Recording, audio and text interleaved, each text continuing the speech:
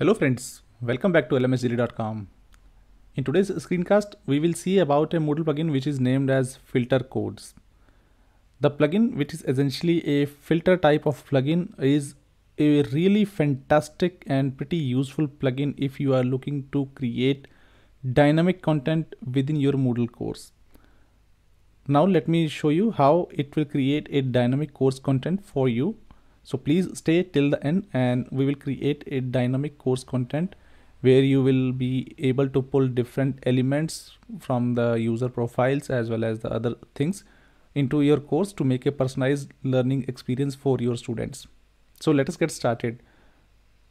The plugin filter codes can be downloaded from the plugin repository and the link is given in the description section below. So you, you can download the plugin from that link and now I will just show you how you can proceed with this plugin. So first let me download this plugin and it is downloaded. So I will now install it on my Moodle site. So I am logged in as the admin for this Moodle site, which is running a Moodle 4.3 version. So let me see if I can install this plugin because as of now I can see that it is compatible until Moodle 4.2 version only. So I will go to the install plugins page and here I will choose a file and use that filter filter codes. Now it will go through some certain checks for the plugin installation. So let us click continue here. And then click continue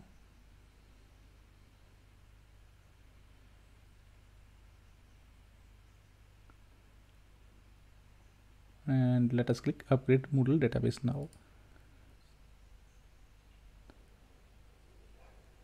So luckily we went through this installation of this plugin and these are the settings which are available for the filter codes plugin. So I will not uh, touch these default settings. I will leave them as it is and I will just click on this save changes button for this demonstration purpose. Now let me uh, go back to the plugins page on Moodle plugins repository and show you a bit of examples how this plugin can help you. I will not be able to show all of these demos uh, in this screencast, but let me give you a glimpse of what this plugin is capable of doing. This can display certain content depending on the user's role. So if you are looking to display something which is available only for the students or only for the teachers, you can use this plugin and create some filters based on this plugin for the roles. And then you will have the ability to create links that normally requires the user's id as part of the url which is a bit technical but i will not explain this one as of now. And then you can display alert type boxes display your list of available courses and categories on the front page as cards create your own pop-up help just like the moodle does. Then you can create uh, uh, customize your uh, dashboard with dynamic content display course progress bar and percentage and you can easily display font awesome icons almost anywhere. And if you scroll down a bit you will see the list of the filter code tags which are available to be used. So basically what this plugin does is if you are using any of these tags then it will display uh, the function which is mentioned here on the right side. So if let me say that we would like to display the first name of the user in any piece of content then we will mention this and then it will automatically pull the user's first name and show it in the content. So now let us go back to our uh, Moodle demonstration and show how you can use this. Now let me go and check if this filter is enabled on my Moodle site. We have finished the installation process. So now I am back on the plugins page and now we need to scroll down a bit until this filters section and here we need to go to this manage filters and here we need to scroll down slightly and then uh, where we have this filter codes you need to turn it to on.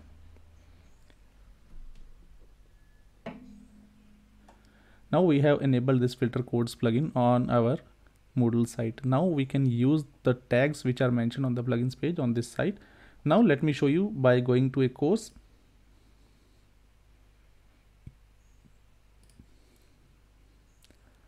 and as of now you can see that it is completely blank new course which does not contain any learning activities apart from the announcements forum here.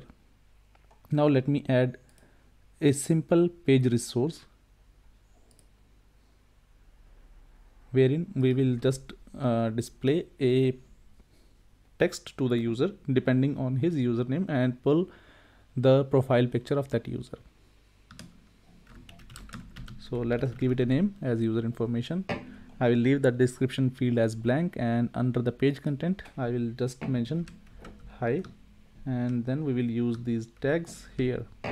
Now I will go back to the plugins page and here let me say that I would like to display the full name of the user. So we will mention full name and then welcome to our course.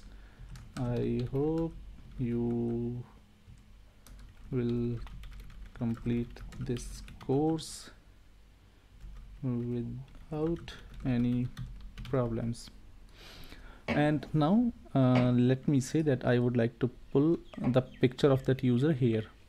So I will go back to this filter codes page and then I will just look for the user picture uh, here so you can see that user picture image x so which will generate an html tag containing the user's profile picture.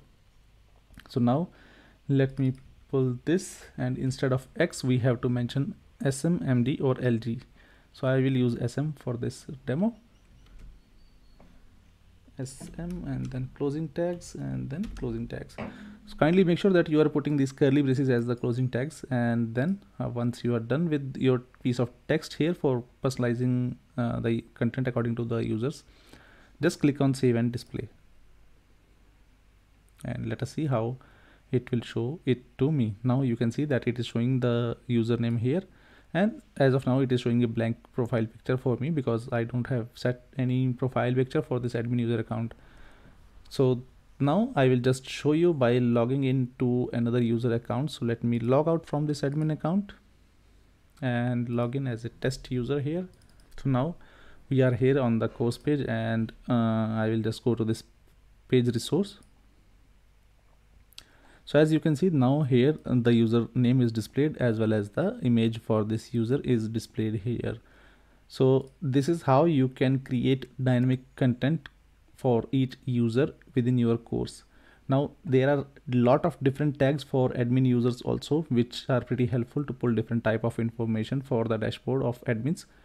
As well as you can also put different type of UI elements like the course cards, uh, different type of charts, and then you have different type of uh, enrollment restrictions also. So you can display the items to the users who are enrolled in the course or you can hide the information from the users who are enrolled in the course and vice versa. Then you can have the different categories tags custom menu urls and content. And you can also use this uh, filter tag plugins along with uh, filter codes plugin with the contact form which is another handy plugin and we will cover that in a separate screencast in future so this will help you to create uh, the content contact form templates according to this filter codes plugin so this is how you can use this filter codes plugin in your Moodle site to create dynamic content for your students based on their user profile fields. If you like this video, please don't forget to click the subscribe button as well as press the bell icon for our YouTube channel. And I really appreciate you watching till this point. Thank you very much for watching. Have a great day. Bye bye.